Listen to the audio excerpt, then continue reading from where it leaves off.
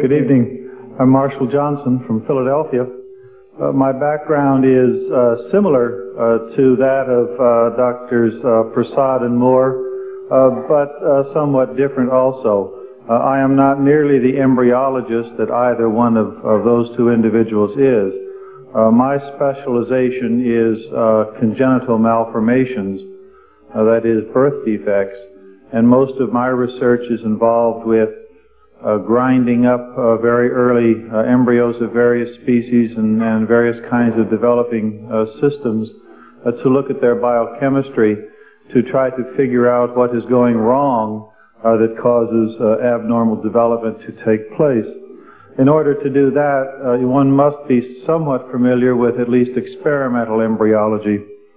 and uh, it's a, uh, a, real pleasure, and I thank the, uh, uh the uh, Muslim Students Association for inviting me here to join with these uh, two gentlemen to try to shed a little bit of light here in the end of the, the 20th century on what some writings were over 1400 years ago.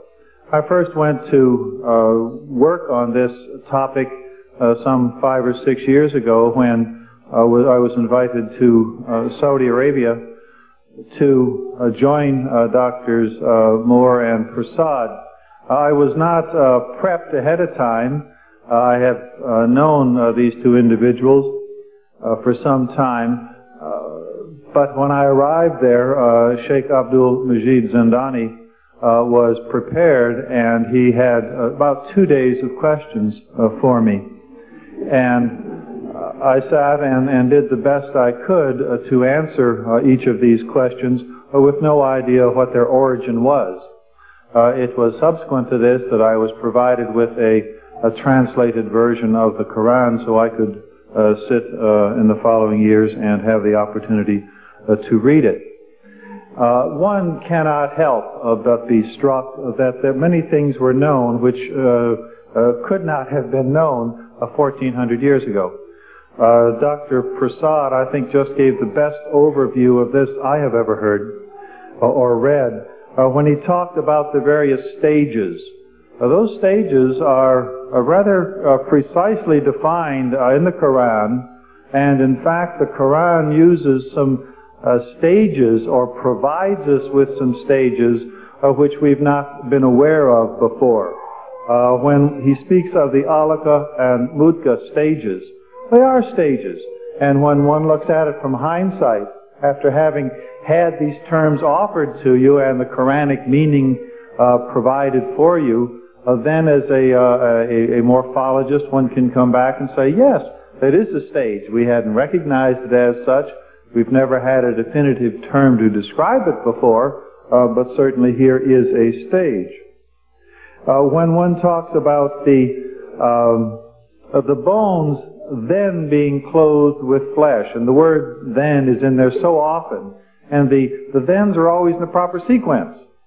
And these are things which uh, weren't known uh, until about 200 years ago, supposedly. The, the idea that uh, we are created from mixtures, uh, that at a particular time the external genitalia are recognizable as a, a binary, the, the, the two sexes, those kinds of things um, are rather interesting to read from a, uh, a, a, book uh, which uh, was recorded uh, by a, uh, a, a, simple man, uh, the prophet, peace be upon him, writing these things where he would have supposedly no way, no laboratory with which to, to see them. And if he had the laboratory, the tools to see them with had not been invented yet. The, an interesting aspect of this uh, is a concept presented and espoused uh, by uh, Sheikh Zindani, and that is that many of the things which we today can recognize here in the, in the 20th century, uh, the, we can recognize these stages. We could not have recognized them 200 years ago if the embryologists that existed 200 years ago had been asked to identify these stages and to describe them, it would not have been possible for them to do it. uh, these kinds of things weren't known that uh, recently. But similarly, in the experimental uh, realm, there are still things which we are just now discovering. It has been in certainly uh, your lifetimes, but uh, because it's just in my lifetime, uh, that we have come to understand a bit of what is described in the Quran uh, as the program uh, and the, the planning ahead, that things were determined, and then it was just a program that played out. That's just since Watson and Crick have come along that we have understood how that program works. Uh, Dr. Moore mentioned that there are things which we don't understand. And uh, for the past two years, I've been uh, working with one, and that is the idea of uh, created from clay. Well, that's something which we don't understand today, uh, but there is just beginning to appear in the in, in the uh, peer-reviewed scientific literature ways, theories, not hypotheses, but testable theories uh, to the extent that various kinds of clays and silicas can form as an organizational matrix, which is not dissimilar to that, uh, from that, uh, which we would consider as the DNA template to do the kinds of things for the assemblage of and differentiation of cells, that clays can do the same kinds of things uh, to put molecules into an organized configuration so that then one could go to the first stage uh, up from that, and that is a, a semi-permeable membrane or a the cell membrane.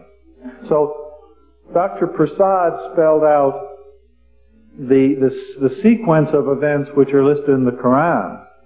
What Sheikh Zandani is talking about is the fact that we are part of that timeline. We are also on a timeline wherein some things we think we're very wise because we can describe them today. We can describe these uh, translations today.